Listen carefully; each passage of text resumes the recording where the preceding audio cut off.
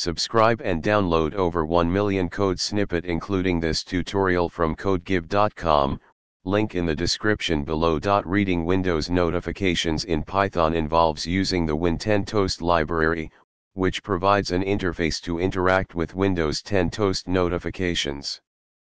Before proceeding, make sure you have Python installed on your system. Open a terminal or command prompt and run the following command to install the Win10 Toast library. Create a new Python script and import the necessary modules. Instantiate a Toast notifier object, which will be used to display and manage notifications. Use the show underscore toast method to display a notification.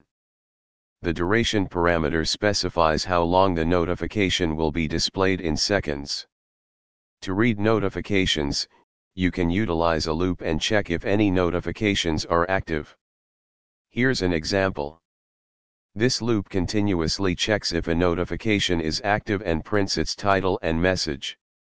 Here's the complete Python script. Save this script with a .py extension and run it using a Python interpreter.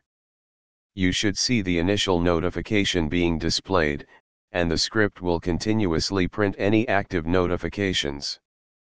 Keep in mind that this method reads only notifications displayed using the Win10 Toast library.